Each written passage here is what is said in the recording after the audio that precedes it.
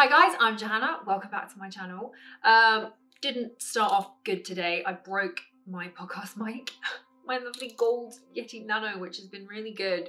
Um, listen, that's because the little USB port acceptor, um, it broke off and it, now it, it's just living life to the full inside there. Great, so sorry if the sound is not really great on this one. We're gonna have to rely on the camera mic.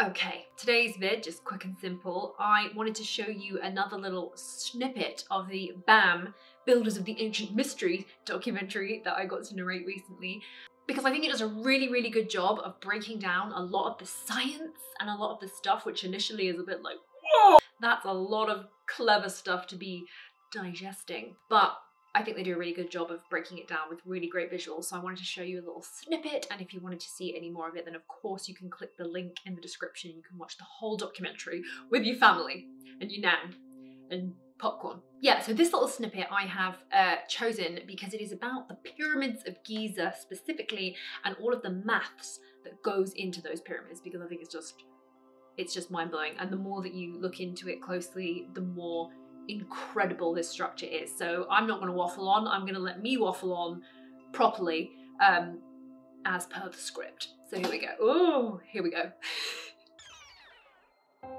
this inscription would have been carved at the entrance of the Plato Academy, but it might as well have been carved at the entrance of the Great Pyramid. Egyptians were taking measurements in cubits, and the original dimensions of the Great Pyramid, including its cladding, are 440 cubits at the base and 280 cubits in height. In 1859, the Englishman John Taylor noticed that this dimension here, divided by this one, would give pi. Egyptologists certify that the Egyptians only had a very basic knowledge of mathematics, and they did not know about pi, nor about the golden ratio. The high chamber, however, is built on a double square, which leads us to the golden ratio geometry. Maths isn't everyone's strong point, but stay with us. First of all, let's quickly introduce the golden ratio for those of you who do not know.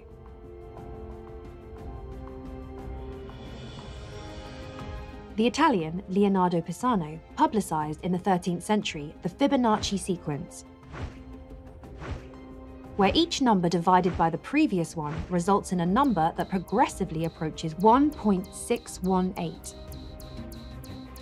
It is a number, and more precisely, a ratio between two numbers that is endless, just like pi, but with amazing mathematical properties. But no need to remember all that, all you need to understand is the logic. Since it's a ratio system, we can use its variations, even its square root, which is equal to 1.272. It's been called the divine proportion because we can observe it statistically on average, just about everywhere around us. It's in the angles of minerals, in plants through the geometry of their leaves, the distribution of their seeds, amongst animal and man and art, just like Da Vinci showed us. Building when using the geometry of the golden ratio means attempting to imitate nature. But put these numbers to one side, we'll come back to them. In order to take measurements, you need a reference, the meter or the yard, for example, in Egypt, they used the cubit, which they say varied in size. But in the Great Pyramid, its value can be obtained with great certainty, since the high chamber is made with precisely assembled granite. The value obtained through the measurements of this room varies between 0.5235 and 0.5236, or 52 centimeters 3 millimeters and 5 or 6 tenths of a millimeter. It is the royal cubit used in the Great Pyramid, but then, although these builders didn't know about the meter, their cubit, by some miracle, is connected to it. It can be obtained easily through geometry. This dimension is 1. No unit, just 1. The length of the circle is this dimension times pi. So here we have pi. We divide the circle into six parts. Each part equals 0.5236, and what we have left equals 2.618, which is the golden ratio squared.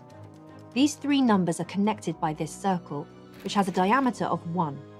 We went to talk to a man who's been working with ancient measurements for decades. Ma fameuse coudée qui fait 52,36, je sais bien que si je la multiplie par 6, euh, je trouve 3, 14, 16. Donc j'ai des entrées directes avec du calcul, avec de la géométrie. Le pied, derrière, il fait 32, 36. Mon pied 32, 36, si je le divise par 2, 32, 36 divisé par 2, ça me fait 16, 18. J'ai un 618, j'ai mon nombre d'or qui apparaît. If I want to measure this circle, I will need a measuring unit. Let's take the yard. So this dimension equals 1 yard, and this one here, 0.5236 yards. It does not correspond to anything in particular. But if we choose the meter, then this dimension equals 0.5236 meters, which is the value of the royal cubit of the Great Pyramid. This can only be sheer luck as the meter was adopted in 1795, after the Earth was measured. Now let's take the measurements of the Great Pyramid in meters. Thanks to its proportion, if we divide this by that, whichever measuring unit we choose to use, the result will be pi. If we choose the meter, this dimension divided by this one equals pi, but this dimension minus this one equals pi times 100, which only works with the meter. Same dimensions, a division, and a subtraction. In regard to the king's chamber, out of all the choices of shape, they chose by chance a double square, using geometry they were not supposed to know about, the geometry of the golden ratio. To build it out of all possible choices in dimension, the builders chose 10 by 20 cubits. This dimension here is pi times 10 meters. This is only possible in meters. This dimension here, plus 2 meters 618, equals this dimension, plus 2 meters 618 equals this dimension, plus 2 meters 618 this dimension. This can only happen because the room measures 10 by 20 cubits. If it had been 9 times 18 or 11 times 22, we would have the golden ratio and pi in proportion, but not in meters. All of this makes no sense. The meter was set in 1795. Something's not right. Need a break? In a book on the golden ratio, we learn that in the Middle Ages, the builders of the churches and cathedrals also used the cubit, which belongs to a measuring system called the quine. Dans un pied, tout le monde sait au Moyen Âge qu'on a 12 pouces. Et dans un pouce, nous avons 12 lignes. Derrière, on a la mesure qui est la mesure de l'empan. Derrière, nous avons la mesure de la palme. Et derrière, la paume, qui va donner ce qu'on appelle la quine, cette suite de cinq mesures organisées et organisées euh, pendant beaucoup de siècles, y compris la Renaissance, euh, de façon dorée. Which means, in its proportion with the golden ratio, we see how it's arranged around a pentagon. En étudiant les, mesures anciennes et surtout les bâtis anciens, euh, je me suis rendu compte que, évidemment, on a des mesures qui sont variables selon les régions, selon euh, les époques, mais celle qu'on trouve qui voyage le plus de région en région va être cette coudée-là qui fait aujourd'hui qu'on la mesure 52-36. Amongst all these different cubits in the Middle Ages, one in particular, the royal cubit, carries the same value as the cubit of the Great Pyramid. But where does this medieval cubit come from? C'était tout de même celle qui était utilisée en Île-de-France, en Picardie, en, cette région-là, cette région centrale. Et comme euh, le pouvoir va dominer le territoire petit à petit, hein, moi je suis en Occitanie par exemple, mais ben, on va passer aussi au sein de la couronne de France et on va voir euh, des maîtres d'œuvre royaux qui vont euh, aller un peu partout. It means that this cubit was sanctioned by royalty, more than 3,500 years after the building of the Great Pyramid. who just by chance ran into the same unit of measurement. Si je soustrais 32-36 de 52-36, c'est un constat, je trouve derrière cet empan euh, petit comme ça qui représente, quand je le lis aujourd'hui, je le mesure aujourd'hui, ça représente 20 cm. Exactly 20 centimeters, which is surprising since the span was widely established prior to the meter. By the way, how was the meter established? It was in 1795, in relation to the meridional circumference of our planet, the circle that goes around the Earth via the pole. It was decided that this circle would be divided into 40 million parts, or 40 million meters, which then gave us the length of the meter as we know it today. But instead of 40 million, if the circle had been divided into 50 million parts, the meter would have been shortened by about 20 centimetres. But why was it divided into 40 million parts? Why not 36 million? Which would have been logical since we divide a circle into 360 degrees. Turns out this choice of 40 million has surprising consequences. See what I mean? Like the maths that are involved in the Pyramid of Giza is pretty incredible. And also, big problem in the timeline of human history. How come the meter, the golden ratio, pi, how come they're being used in these ancient sites? The meter has been found in Peru and it's also been found in Egypt. Thousands of years before the meter even existed, the meter was supposed to have been found in the 1700s after and only after they mapped uh, the in, they measured rather the, the whole world. You have to measure the world in order to get the meter because the meter is a little breakdown. It's like a meter is a little tiny tiny breakdown of the whole measurement of the world. So unless you measure the world so that means well it means two things. It means that the ancient people somehow measured the world, as in they were knowledgeable of the earth as a globe and they charted it and measured it and they knew about it, or two completely separate ancient civilizations in Peru and in Egypt and probably other places in the world, they just happened to stumble across this measurement and use meters. It's it's a little bit like, hmm, hmm. I know which way I'm leaning, but um. yeah, it's really exciting. It's really cool.